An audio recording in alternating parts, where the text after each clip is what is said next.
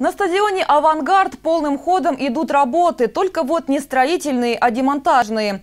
Собственник разбирает ветхие трибуны, убирает металлоконструкции. Как нам стало известно, в первую очередь это связано с тем, что на заброшенном стадионе гуляют подростки, которые в любой момент могут получить травму. Из-за ЧП, как ни крути, отвечать придется хозяину объекта. Уже долгие годы «Авангард» находится в запустении. На футбольном поле вместо газона – бурьян. Напомню, в 2015 году земельный участок площадью более 20 квадратных метров, на котором был расположен стадион, был выставлен на продажу за 16 миллионов рублей.